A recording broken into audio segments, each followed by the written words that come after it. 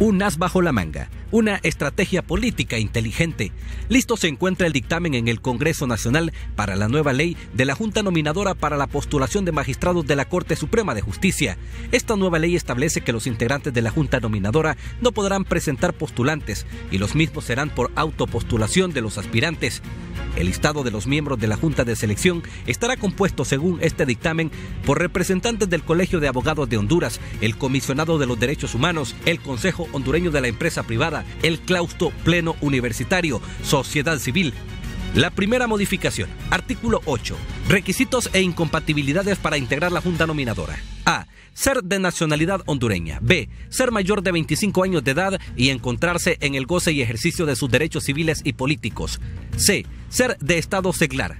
D. Ser miembro activo o parte del personal de la institución u organización que lo propone desde al menos dos años antes de su designación. No podrán integrar la junta nominadora quienes sean parte en litigios judiciales activos o estén siendo investigados por violación de derechos humanos, corrupción, lavado de activos y narcotráfico, incluyendo quienes ejerzan o hayan ejercido la representación legal o procesal de las personas imputadas. Se excluye de esta prohibición a quienes hayan ejercido dicha representación en calidad de defensores públicos.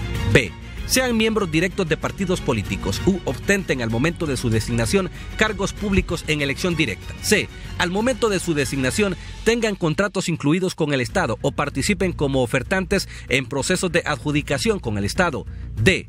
Los parientes dentro del cuarto grado de consanguinidad o segundo de afinidad con el presidente de la República, diputados al Congreso Nacional, altos funcionarios de la Administración Pública y personal jurisdiccional del Poder Judicial. E. A excepción del Comisionado Nacional de los Derechos Humanos, quienes hayan participado como propietarios o suplentes en anteriores juntas nominadoras o sean miembros de la Junta Directiva, Consejo Directivo u órgano de gobierno de la institución que debe integrar la Junta Nominadora.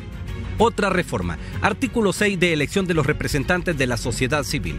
Las organizaciones interesadas en participar se inscribirán dentro de los cinco días naturales posteriores en la convocatoria, en un listado electrónico que pondrán a la disposición. Transcurrido este plazo, se enviará simultáneamente el listado a revisión de la Secretaría de Gobierno y Justicia, descentralizada, y de la Unidad Fiscal Especializada contra Redes de Corrupción del Ministerio Público, UFERCO. La primera establecerá si las organizaciones interesadas se encuentran activas y las segunda si están asociados a investigaciones por delitos de corrupción. Ambas entidades tendrán tres días naturales para enviar el informe a la Secretaría de Transparencia. El Ministerio Público directamente no participa. La responsabilidad recae sobre UFERCO, que actualmente lidera Luis Javier Santos, y la Secretaría de Transparencia. Las prohibiciones deja fuera de combate a muchos profesionales del derecho que han tenido participación directa en la representación de personas acusadas con los delitos mencionados. En la carrera profesional de nosotros los profesionales del derecho nos encontramos con hechos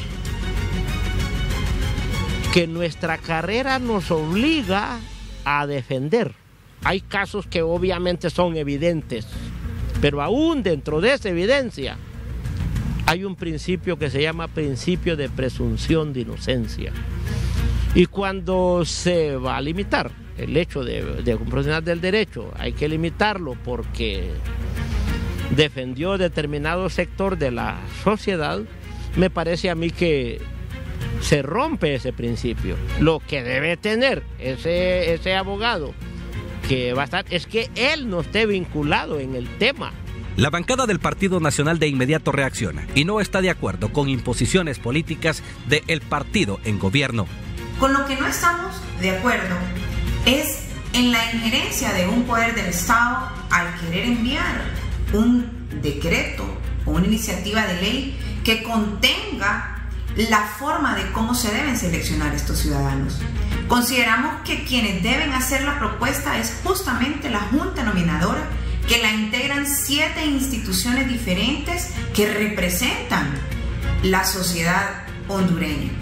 Las reglas del juego pueden cambiar. Todo indica que la Corte Suprema de Justicia será elegida mediante un proceso diferente a comodidad de quienes más poder tienen dentro del legislativo. Las estadísticas revelan que históricamente se han repartido los magistrados de la Corte Suprema de Justicia 7 y 8 entre el Partido Nacional de Honduras y el Partido Liberal. Pero en esta ocasión hay otro competidor y con más fuerza política y más poder porque se encuentra en la gobernanza nacional.